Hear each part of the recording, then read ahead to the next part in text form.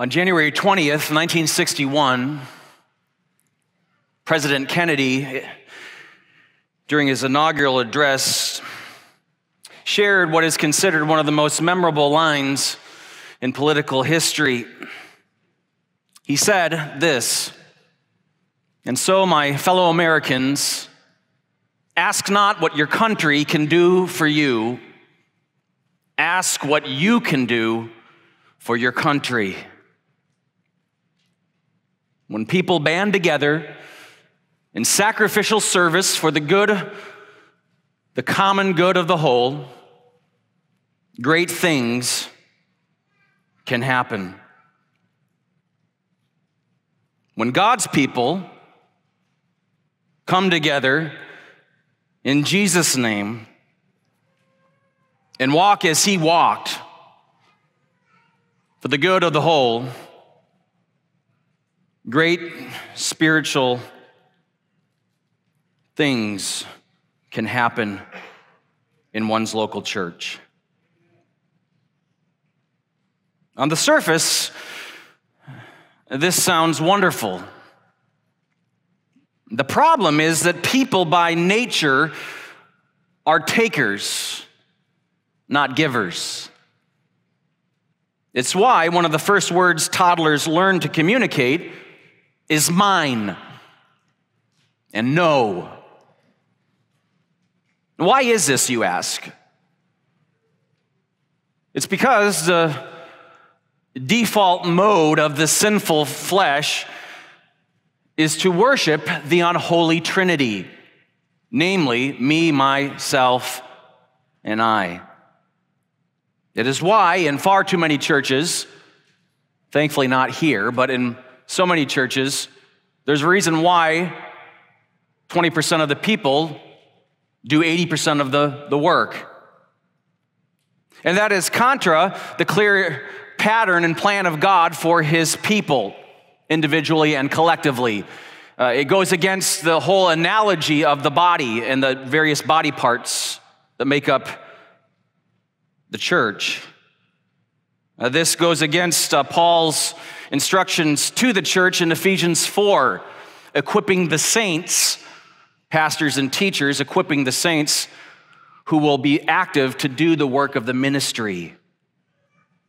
As you turn in your Bibles this morning to the glorious 13th chapter of John, I want you to consider this. And so, my fellow Christians, ask not what your local church can do for you, ask what you can sacrificially do for the Lord's church. It's a paradigm shift, and it's a necessary one. You say, well, why should we, Pastor? I mean, who died and made you the president? And I just want to say on the onset that this message isn't about my personal vision for this church. This is about us embracing what the Lord wants from His church. What we're talking about and we'll be talking about the next few weeks, is what the Master expects from his blood bought disciples. As we make our way through this monumental text, our outline will be as follows. And if you have your sermon notes, you can fill in the blanks. In verses 1 through 5, we will consider, firstly, the model of humble love the model of humble love. Verses 6 through 11 unpacks what I'm calling the symbol of spiritual cleansing. And in verses 12 through 17, Jesus presents the pattern of Christ like conduct. The pattern of Christ like conduct. If you are a follower of Jesus, this series is especially for you. And we see that in verses 16 and 17. Jesus speaking to his disciples says this, verse 16 Truly, truly, I say to you, a slave is not greater than his master. Neither is one who is sent greater than the one who sent him. If you know these things, you are blessed if you do them. Our study begins with the model of humble love in word and deed. Verse 1, John 13. Now, before the feast of the Passover, Jesus, knowing that his hour had come, that he should depart out of this world to the Father, having loved his own who were in the world, he loved them to the end. And during supper, the devil, having already put into the heart of Judas Iscariot, the son of Simon, to betray him, Jesus, knowing that the Father had given all things into his hands, and that he had come forth from God and was going back to God, rose from supper and laid aside his outer garments, and taking a towel, he girded himself about. Then he poured water into the basin and began to wash the disciples' feet and to wipe them with the towel with which he was girded. With the ominous shadow of the cross looming over our Lord, remarkably, the thoughts and prayers of the suffering servant are largely with his disciples. Verse 1 the model of humble love in word. Now, before the feast of the Passover, this is the final Passover that Jesus will celebrate before his crucifixion. Jesus is well aware of what's about to take place, for he came for this purpose to live and to die. And, and we're told here this sort of summary statement that will carry us all the way through the 17th chapter in the upper room, the 17th chapter, including the great high priestly prayer of Christ for his own. We have this summary statement we get an insight into who Jesus was thinking about. And shockingly, it was not himself. Jesus, knowing that his hour had come, that he should depart out of this world to the Father, having loved his own who were in the world, he loved them to the end. This is the model of true love. This is humble love par excellence. I want you to note the special object of God's love in Christ is not the entire world. No, John chapters 13 through 17 highlight, listen, it highlights the special love and affection that Jesus has for his own. Circle those two words. It will be obvious as you read this portion of Scripture, if you were to do so in its entirety, that Jesus has his beloved disciples on his mind. And there's a special kind of affection that the Savior has for believers. And we need to be careful that we do not confuse the Savior's special love for the elect with the Creator's general love for the world. To do so is to conflate one of the most precious truths in Scripture. God does not love all people in the same manner. Here we are told that it is Jesus' own disciples that preoccupy his thoughts and that are near and dear to his heart. Having loved his own who were in the world, he loved them to the end. Later, he'll talk about dying for not only those believers uh, that were present, but those who would come in the future, that is us. And the question is to what extent does the Son of God love his own? How much does God love his people? Glance back down at the end of verse 1. Having loved his own who were in the world,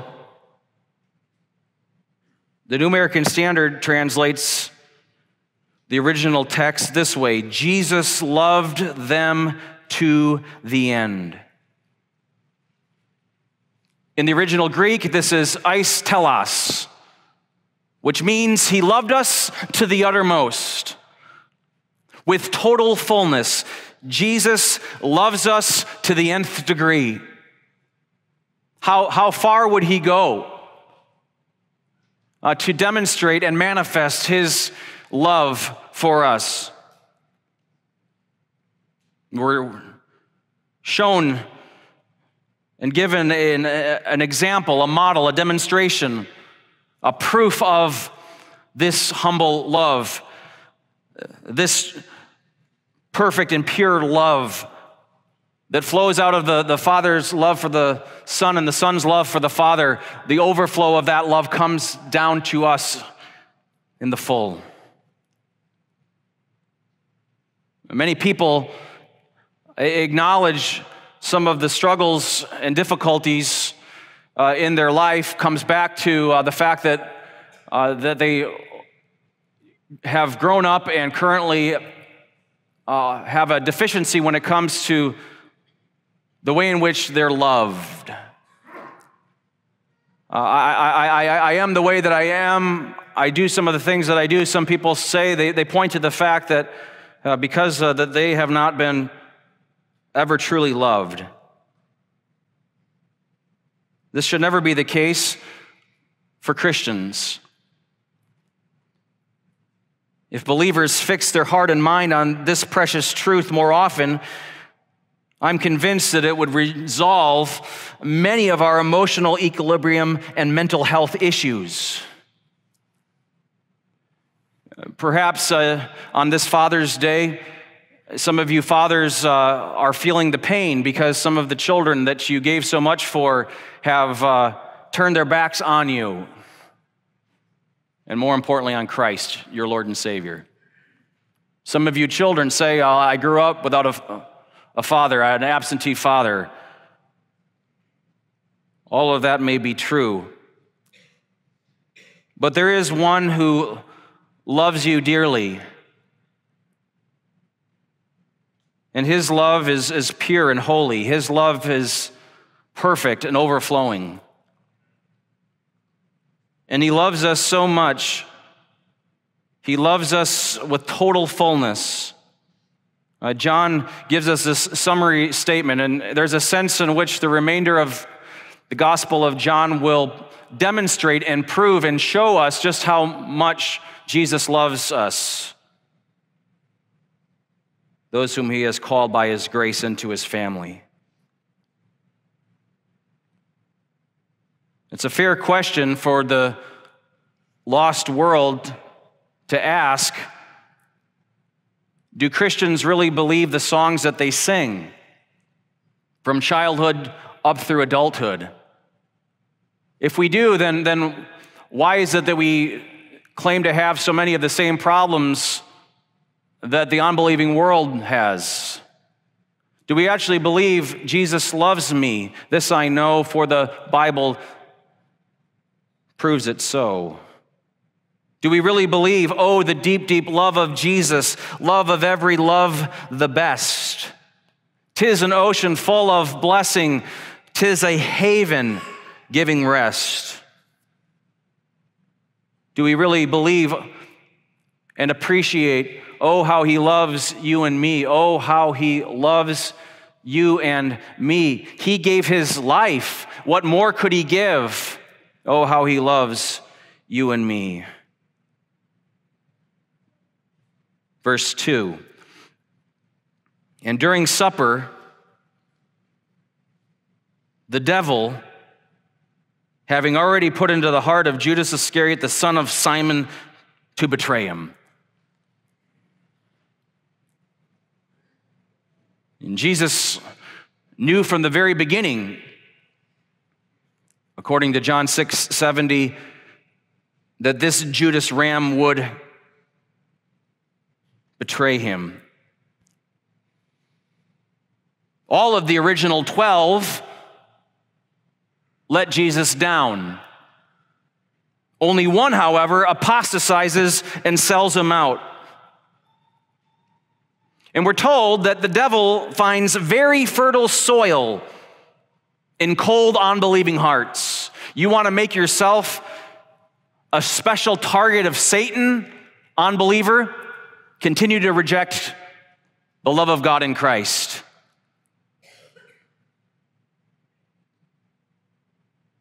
It was Satan who is at work in the final hours and day in the life of our Lord. And yet, we are reminded throughout the Gospel of John and the scriptures that Satan's sinister schemes in no way lessens human culpability. Judas is totally responsible for his unbelief. Uh, there's a sense in which his unbelief provides fertile soil for the devil to move and even to, in some ways, control him in seeking to oppose the purposes of God. Uh, Judas, only a madman would reject the love of Christ. And yet, this is exactly what Judas has done. He's a lost cause. And now he is under the control of Satan. And yet, none of this, none of what takes place during the, uh, the event of the Passover, Jesus' trip then to the Garden of Gethsemane, the future mock trial and crucifixion, none of this catches Jesus by surprise. It is all according to God's purpose. Verse 3 tells us that this is the case. Jesus, knowing that the Father had given all things into his hands, and that he had come forth from God and was going back to God. This is shorthand for everything that's already been explained in previous sermons. And so I'm not going to go into any detail again this morning. We come then to the first heading. And the main activity that is preserved for us in Scripture. Here in verses 4 and 5, we have been given the context of what's about to happen. We find the model of humble love. I want you to notice what the humility of love in action looks like.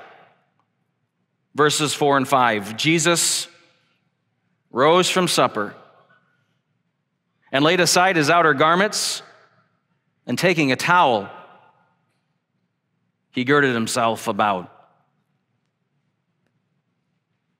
We may have a hard time remembering the first time we read the Bible, the first time we made our, we read chapter by chapter through the gospel. I'm sure that what was the, the common experience of us all, all of us who believe, is, is that we had a hard time putting the, the word of God down because we wanted to know what happens next. Specifically, what will, what will Jesus do next? And here we find something that is somewhat shocking. Uh, Jesus is preparing himself to do something radical. Verse 5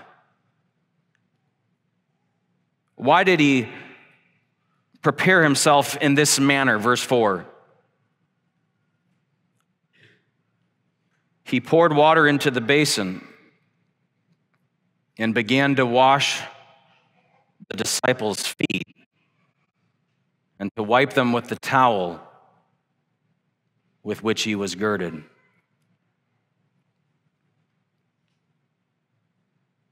Uh, love in word, John 13, 1.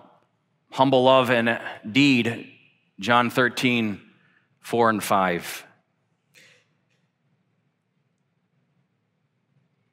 In this act, Jesus demonstrates the extent of his sacrificial love. Though we are all familiar with this story, I pray that the Holy Spirit will allow it to remain fresh in our minds and hearts. This is absolutely radical. And as amazing as this humble display of love is, it is only a preview of greater things to come. Jesus will even stoop lower to demonstrate the love of God in Christ for his own disciples. Just wait until we get to John 18 and 19. So, why is it that so many Bible teachers label this action the humility of love? What is it about this foot washing incident that has so captured the minds and hearts of commentaries, commentators, preachers, and Bible students alike? Friend, may I remind you, the lowly task of foot washing was a necessary practice in the first century for four reasons. First of all, let us remember uh, that people wore sandals, uh, not socks and shoes. Second of all, may I remind you that you got to point A to point B. Most people the primary mode of transportation was by walking, not riding in an air conditioned automobile or an Uber. I remind you, in the first century in Israel, there weren't many nicely paved sidewalks. The roads that, that people traveled upon were dusty, dirty, littered with animal droppings.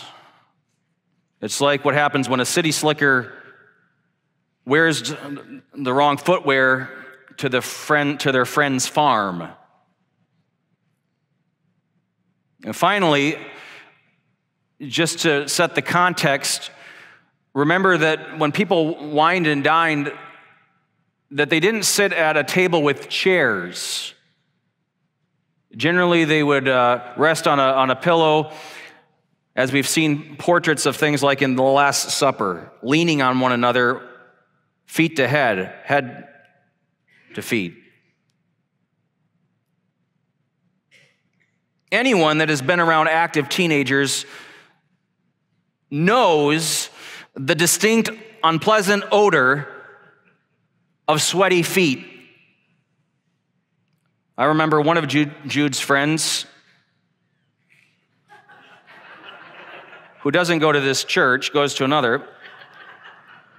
Not a bad thing, actually. He brought his shoes into the house after playing outside when it was wet, and it was like a Yankee candle for the whole house. Unforgettable. We understand wet dog smell.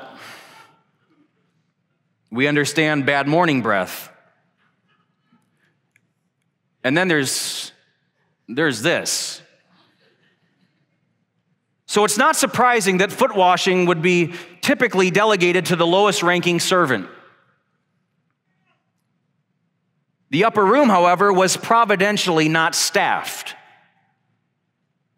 Jesus had remembered everything and actually had not forgotten about this. God is in control of the circumstances and settings He's always at work, even behind the scenes, often behind the scenes. to give the, the disciples an opportunity to show their deficiencies and to give to us an unforgettable portrayal of the beauty of Christ. Uh, specifically, the model of humble love. All of us can easily picture in our minds how this embarrassing scene unfolded. The disciples are where the Lord told them to be for the purpose that Jesus had said to celebrate Passover, to institute the Lord's Supper. All disciples realize as they're going to have a meal together uh, that before you would recline, you would wash your feet for obvious reasons. Each of Jesus' disciples understood what needed to happen, but this task was so beneath them, or so they think. Someone else should step forward. I'm the oldest, it should be the youngest job. I followed Jesus before he did. Who knows what they were thinking, what thoughts in their minds they use to rationalize their inactivity. Nobody does anything, so nothing happens. Uh, there would have likely at some point been an awkward silence. And I want us, as we think back to the first century, and as we consider the inactivity of Jesus' his 11 believing disciples, I want us to bring that scene into the present and ask ourselves the question that I believe Jesus is, is, is, is wanting us to consider whenever we, we study this monumental chapter. Everybody knows what needs to be done. Something needs to be done. Nothing is done. How many times does something like this unfold at church or in our own homes? And I want to go a little deeper and I want us to ask the question why? The reason why is because our love is often deficient.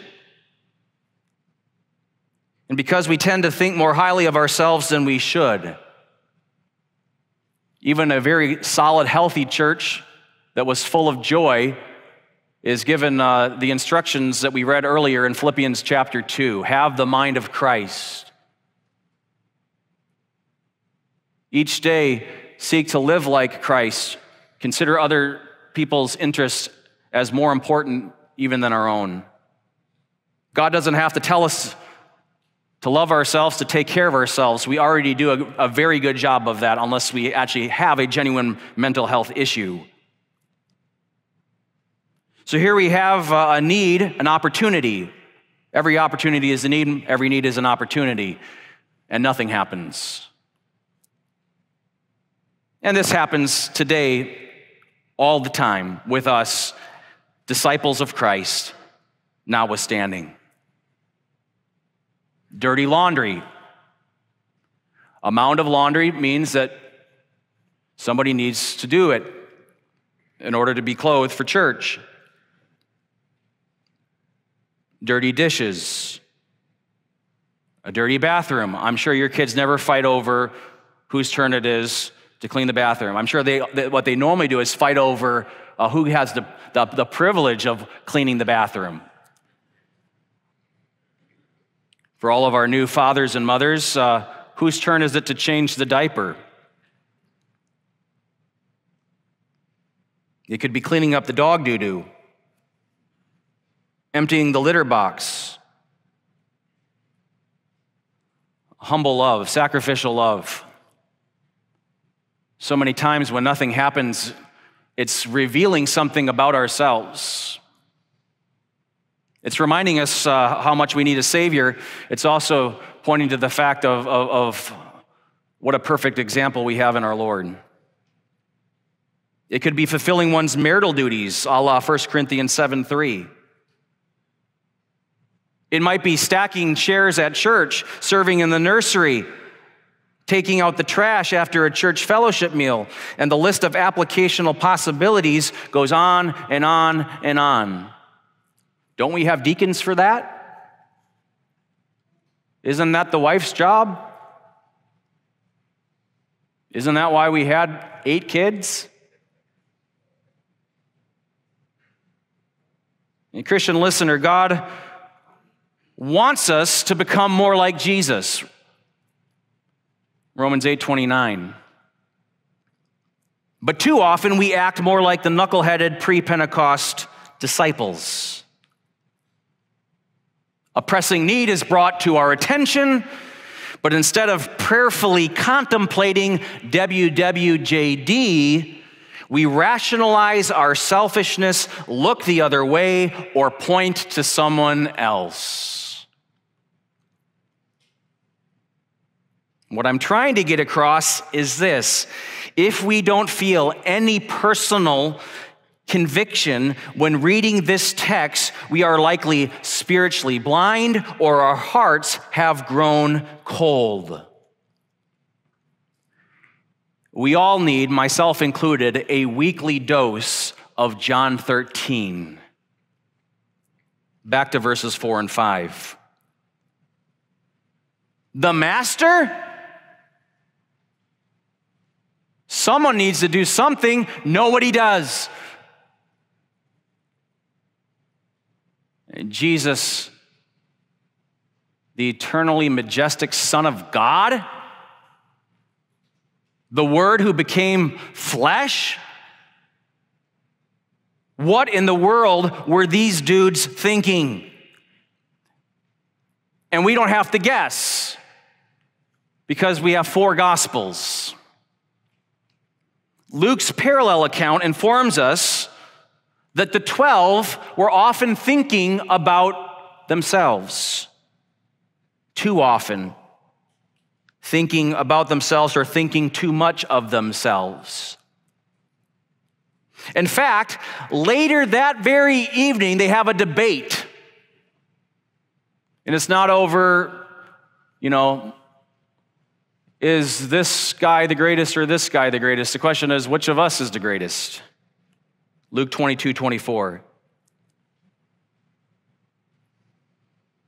Now, they had the same natural propensity to uh, think too highly of themselves as we do.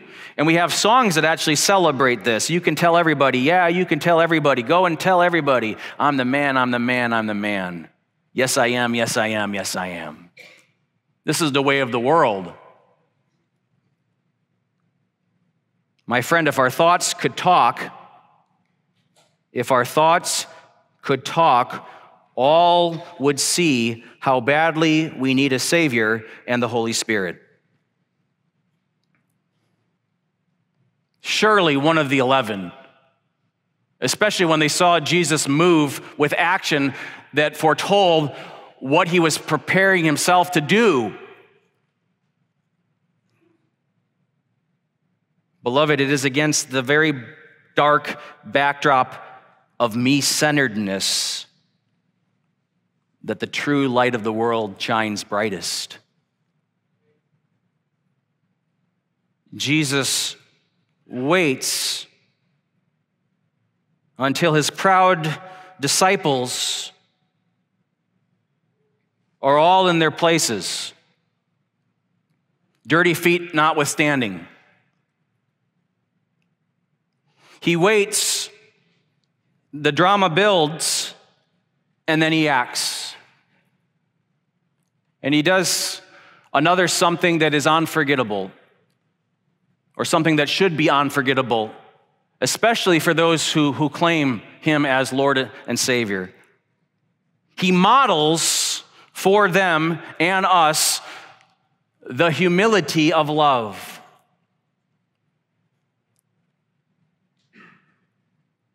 The stage is set for the eternally majestic Son of God to put on a servant's apron as he washes the dirty feet of his disciples.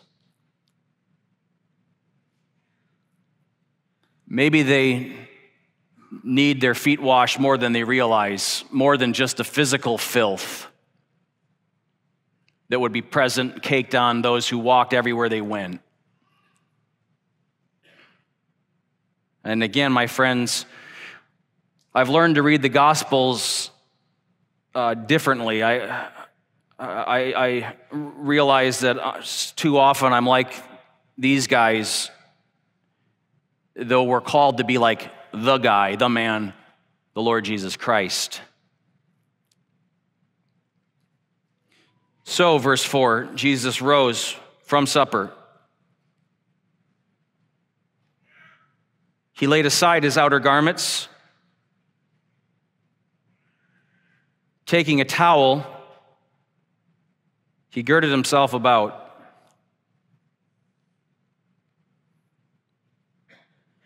There's a sense in which this is often a forgotten piece of armor within the full armor of God, Ephesians 6.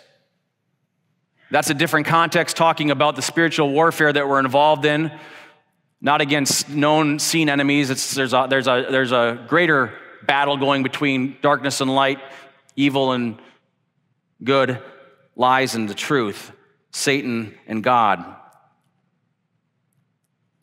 But as we seek to each day fulfill that which God calls us to do in putting on the full armor of God, Ephesians 6, let us not forget to include the towel. We are called by Christ, our captain, to be people of the towel.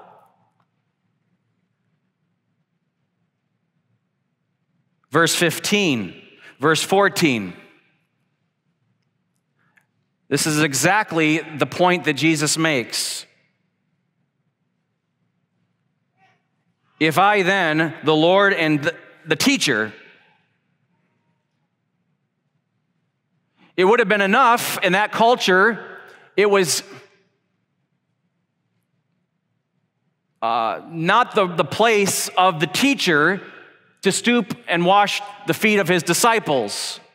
That enough is wrong. There's a pecking order of honor and distinction that is not entirely bad. And yet Jesus shows a, a, a, different way, a better way. But more than that, this is the Lord of glory. Far greater than the fact that he's their master is the fact that he is their God. If the Lord and the teacher wash your feet, you also ought to wash one another's feet.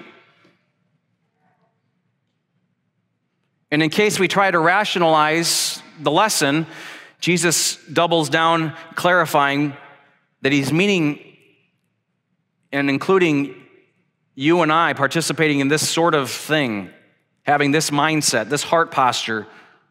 It's easy to say that you love somebody, it's easier to, to say it than it is to show it.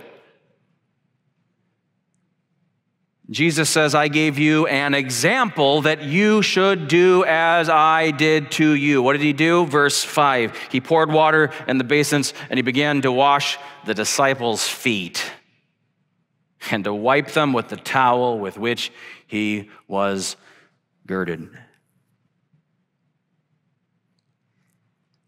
It is a true wonder of wonders that Jesus loves us Believer, especially when we're at our worst. That is one of the most remarkable things about Christian marriage. And that's why we have vows that talk about the different contexts of life that we will find ourselves in sickness, health, for richer, for poorer, when we're at our best and when we're at our worst. To love, to love like this, to love like Jesus. God help us. We have a, a perfect example, the model of humble, sacrificial, Christ like love.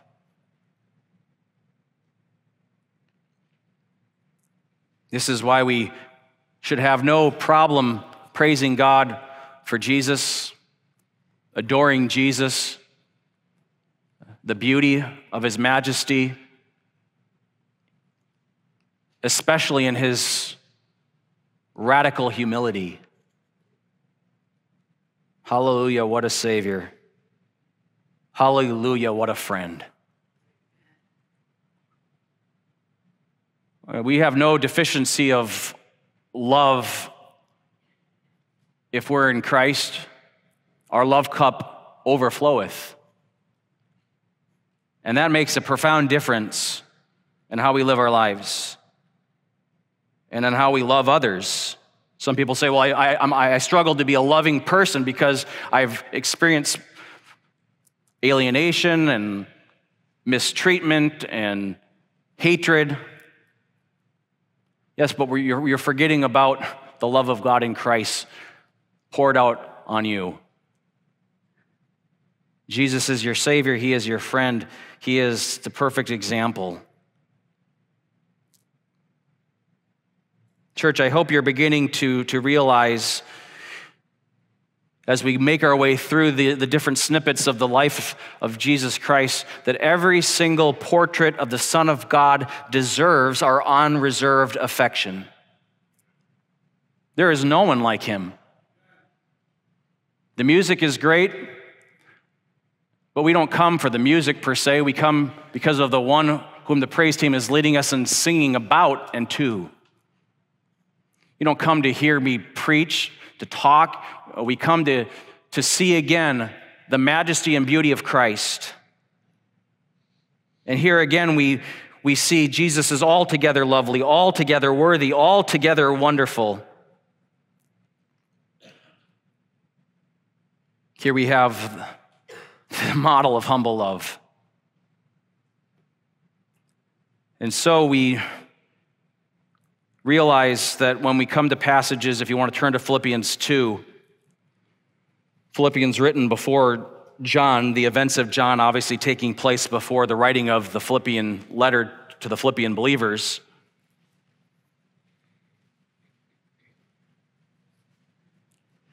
One of the reasons why this is such a happy place and a wonderful church is because of the, the love of Christ that we have, uh, that we we revel in every time we're together. And his love for us, is perfect, pure, sacrificial, humble love, changes uh, and transforms us from the inside out. This is such a loving church, as it ought to be because we have such a loving Savior. If therefore there is any encouragement in Christ, Philippians 2, any consolation of love, any fellowship of the Spirit, any affection of and compassion, by the grace of God at this church, not perfectly, but truly, we could check, check, check, check. Make my joy complete by being of the same mind. Have the same mind, have the same mindset, maintain the same love, united in spirit, intent on one purpose. Friends, do nothing from selfishness or empty conceit, but with humility of mind, let each of you regard one another as more important than himself. Do not merely look out for your own personal interest most of us do a very good job of that, but also for the interest of others. That's hard to do. Impossible without the Spirit. But in Christ, all things are possible, including this kind of mindset have this attitude in yourselves, which was also in Christ Jesus, who, though he existed in the form of God, did not regard equality with God a thing to be grasped, but emptied himself, taking the form of a bondslave. Don't forget who you are. Don't have an identity crisis. Uh, we come to church to remember who we are in Christ, who He is, and who we are in Him. Uh, be, a, be a church full of, it's a, it's a badge of honor to, to be uh, numbered with one of Jesus' disciples. And Paul considered it a, a, thing to glory in, the fact that, that he and all, and all true believers are bond slaves of Jesus. He emptied himself, he took the form of a bondservant, made in the likeness of men, found in appearance as a man. Jesus humbled himself. He humbled himself in the 13th chapter of, of John in the upper room. When the disciples were uh, rationalizing their selfishness and pride, Jesus steps forward, goes down, and washes their feet. Hallelujah, what a Savior. Hallelujah. What a friend.